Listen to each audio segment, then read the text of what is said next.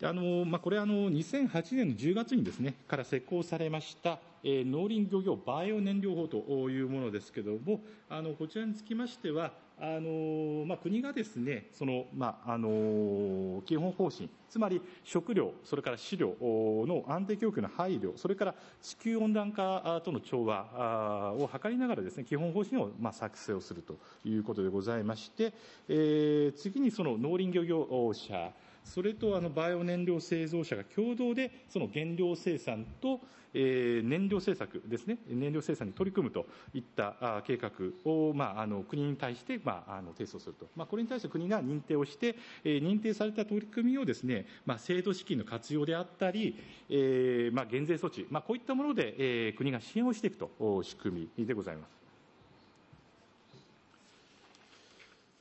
それであの、まあえー、こういったあの原料生産者、あのバイオ燃料を生産するその生産者、それとバイオ燃料生産者、リファイナリーのその製造者の、まあ、共同事業を、まあ、これから図っていくということ、そしてあのバイオ燃料のその利活用を図るという観点からですね、そのバイオ燃料製造にかかるですね、えー、固定資産税の、まあ、軽減措置、これをですね、えーと、特例措置としまして、えー、特例期間3年間で、えー、50%税を税を減免するという措置がございます。そしてあの新しくこのやはり日本としましてもこの、えー、技術開発これを進めていかなければいけないということでまずその一端としまして、えー、その新品種の育成に対するですね、まあ、あの登録料があったんですけれどもこれの減免措置、まあ、こういったもので支援をしていこうということでございます。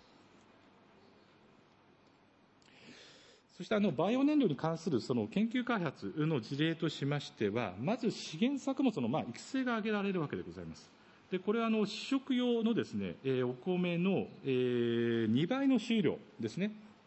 あのつまりヘクタールあたり10トンのですね高品あの高収量あのバイオマスあのの稲ですね。これのですね、えー、品質を開発をしていくと。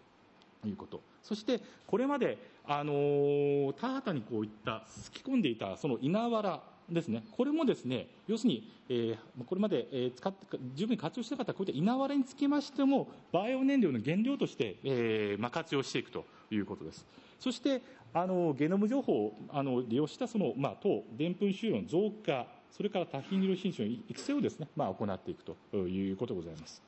そして、そのあのエタノール生産技術の開発につきましては、その膜質バイオマス、それから稲わら等の非食料資源ですね、それから資源作物からの、えー、高効率にエタノールを生産する技術の開発、こういったあの金のですね、こういった開発、これもですね、えー、行っているわけでございます。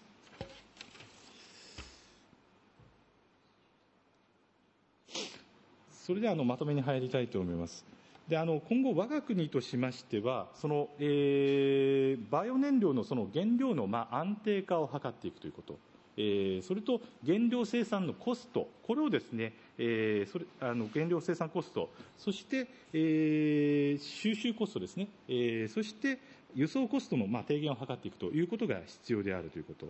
そして、あのセルロース系原料ですね、これを活用したあのバイオエタノール、まあ、つまりなど、その第二世代型と言っておりますけれども、第二世代型バイオ燃料の技術開発をまあ推進していくあの方針でございます。この3点が大きなあの政策の柱でございます。で、あのまあこれによりまして、えー、農林水産業の、日本の農林水産業の発展、維持発展、そしてエネルギー供給の安定化、そして資源活用、資源のその有効活用、そして、え、地球温暖化対策といったことにあの対応していくと、まあ、いろんな諸課題に、えー、バイオバイオエネルギーをあの通じて、え、達成をしていくということでございます。で今回、その私のあの与えられたテーマ、これは日本の目指すそのバイオエネルギーの利活用と、まあ、課題ということでございますが、えー、まとめますとですね、その日本としましては、日本が目指すバイオエネルギーとしましては、え、その食料と競合しない、え、バイオ燃料生産、えー、特にそのセルロース系原料、稲わら、麦わら、そしてあのあの、まあですね、そういったあの食料とその競合しないような、そういったセルロース系原料を活用したそのバイオエタノールといったその第二世代型バイオ燃料、これのですね、生産の進行を図っていく。まあ、これがその日本のですね、目指すべき、目指しているですね、そのバイオエネルギーの利活用の、えー、でございます。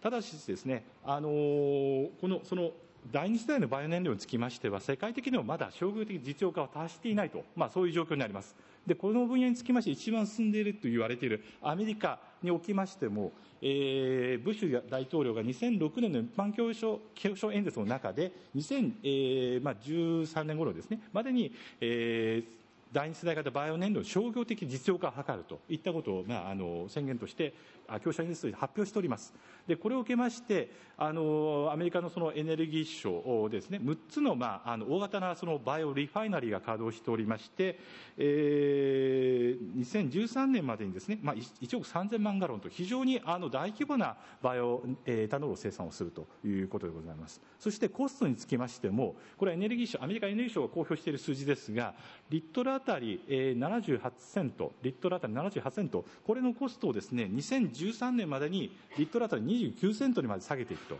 いったこと。これはあの要するに収集コストであったり、まあ、酵素の開発、こういったもので、えー、下げていくといったあの目標を掲げております。ただ、あのこういったその目標に関しましてもですね、そのアメリカのエネルギー省の内部の中でも、えー、こういった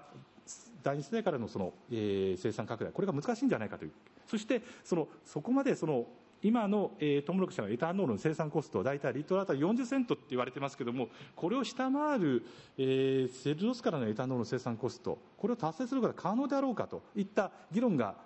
アメリカ政府の内部でも出ているということでございます。で、これは日本だけじゃなくて、その、まあ、あの、アメリカでもそうですけども、やはりセルロスからの、え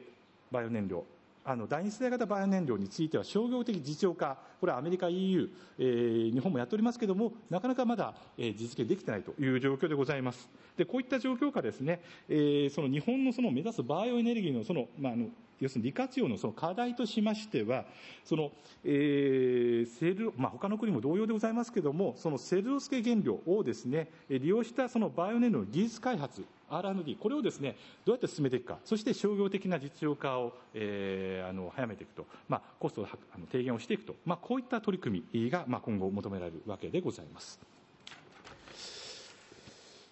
それでですね、あのまあ、今日はちょっとあの、ね、政策的な話をさせていただきましたけども、まあ、これからあの、まあ、実際に具体的なお話があのあるかと思います。で特にあの日本政府のそういったあの方針、えー、その食料と競合しない、えー、その原料を使ったバイオ燃料、えー、ですね、えー、それとその高効率のそのクリーンバイオ燃料生産、え、それからあの新しいそのバイオエネルギー製造の技術ですね、開発ということ、そしてバイオエネルギーの地産地消という方はですね、要するにその地で生産をして、その地で消費をするといった基本システムを構築するといったことからですね、このあの東京農工大学さんの方でですね、えー、地域エネルギー自給率向上のためのグリーンバイオエネルギー研究といったものがですね、あの農工大学のあの平沢教授をはじめとするですね、あの先生方の、えー、がですね、あのプロジェクト、えー、としてあの研究を実施をされております。で研究内容としましてはあの、まあ、太陽エネルギーのその固定、えー、技術開発つまり食料と競合しないその第二世代型バイオ燃料の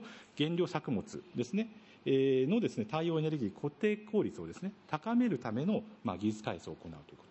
そしてエネルギー変換技術開発研究ということ。つまり微生物微生物ですね。これを活用した、えー、バイオマスの、まあ、分解、それから発酵技術ですね、えー、の研究を行っているということ。そして生産利用、循環システムですね、バイオマス生産、そして、えー、エネルギー利活用の循環システム研究、そして社会システム研究、まあ、立地の異なるそのいろんな地域で、まあ、こういったあの一つのビジネスモデルこういったモデルが活用できるかといったことですねのあの構築といったことで、まあ、日本でもですねこういったあの農工大学さんをはじめとして先進的研究がまあ行われているというところでございます。でこの研究につきましてはあの一つのまあ地域だけにとどまることなくですね日本のいろんなあの日本島国ですからいろんなあの、まあ、地域がございます。でそういったところにも適用させていくということからですね、まあ、これによりましてしてその我が国のバイオエネルギーの利活用の普及拡大、生産拡大、これを図っていくということは、まあ、極めて重要な研究ではないかなというふうに思われます。